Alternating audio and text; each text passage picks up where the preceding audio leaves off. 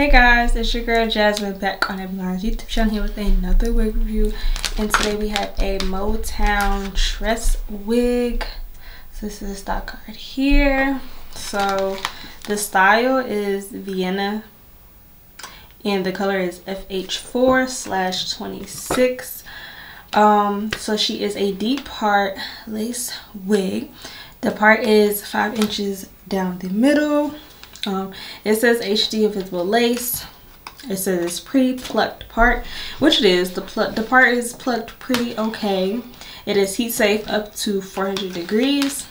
She is 28 inches long, so she is super, super long.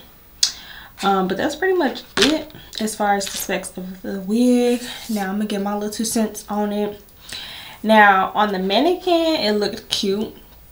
Um, but the top of the hair is very very like thick and kinky. Like i don't know why the roots are very i don't know. I don't know how to explain the roots but the roots are not silk and flat so you have to go in with hot comb and do something to press it down.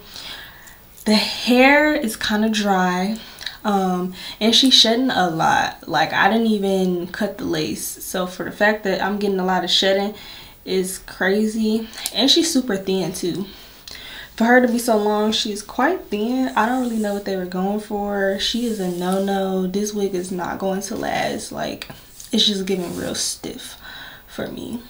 So yeah. It's gonna be real quick one y'all. That's all i gotta say. It's a no. It's enough for me. But if you guys like to purchase this wig make sure you click that link down below in the description box. And if you like this video give it a big thumbs up. And i'll see you guys in the next video. Bye